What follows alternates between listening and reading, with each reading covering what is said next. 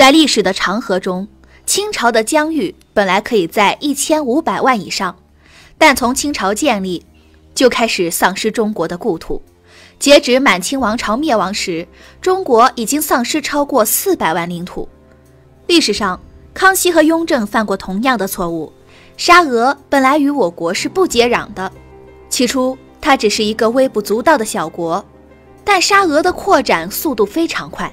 明末清初时期，沙俄已经开始渗透到了黑龙江流域。面对沙俄的侵略，康熙皇帝发起两次亚克萨反击战。在战争结束以后，两国开始坐下来进行边境谈判。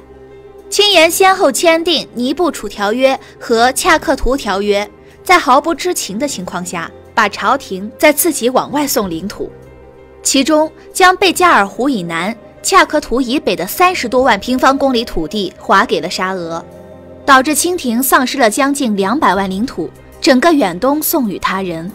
直到鸦片战争时期。清朝方面依然没有准确地图。到了鸦片战争以后，随着清廷国力衰落，北方的沙俄又开始了新一轮的行动。此时，清朝人手里只有《大清一统舆图》，是胡林翼自己组织人手绘制的，但这张地图仍不是很规范。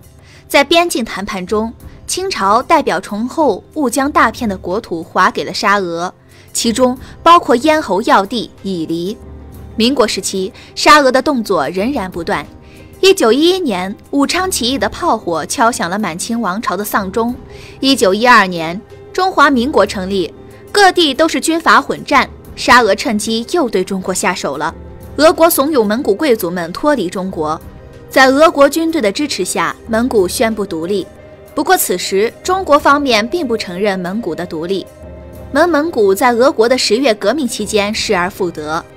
只可惜，后来的苏联又重新占领了蒙古。